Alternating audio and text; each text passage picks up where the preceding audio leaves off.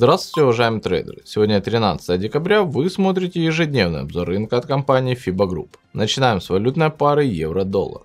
На ожиданиях сворачивания программы QE, а также готовности Италии пойти на уступки и сократить дефицит бюджета оказывает поддержку покупателям. Но все еще котировки пары удерживаются внутри широкого боковика, что указывает на общую неопределенность рынка. Укрепление котировок пары сопровождалось увеличением открытого интереса, указывая на преимущество покупателей. Торговая активность остается умеренной, но сегодня она может увеличиться в момент оглашения результатов голосования по основной процентной ставке ЕЦБ.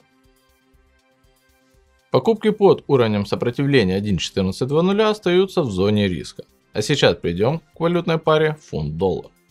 Британский парламент выразил доверие премьер-министру Терезе Мэй, что оказало очень сильную поддержку котировкам пары. Но направление дальнейшего ценового движения будет зависеть от способности парламента утвердить текущий договор по Brexit. Укрепление котировок пары сопровождалось уменьшением открытого интереса, что указывает на преимущество продавцов.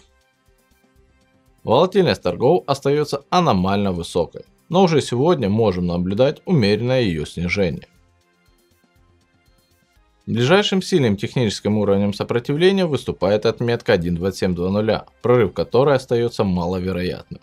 А сейчас перейдем к валютной паре доллар США канадский доллар. Несмотря на умеренное снижение цен на нефть, активность покупателей по данной валютной паре остается очень низкой. На фоне ослабления доллара США. Соответственно, даже незначительный рост цен на нефть может оказать дополнительное давление на пару. Ослабление котировок пары сопровождалось увеличением открытого интереса и объемов торгов, указывая на преимущество продавцов.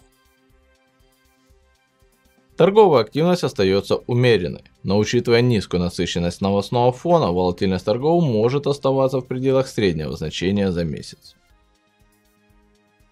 Лишь более мощное ослабление доллара США позволит продавцам вернуться к уровню поддержки 1.3290. А сейчас придем к событиям сегодняшнего дня. Huawei – новый сценарий торговой войны США с Китаем.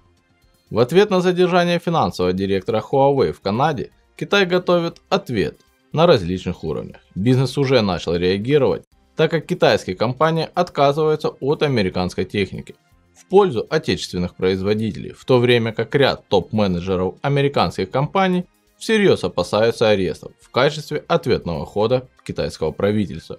Все это ухудшает не только политическое, но и бизнес-отношения между США и Китаем. На этом у меня все. Благодарю за внимание и оставайтесь в фокусе с компанией FIBA Group.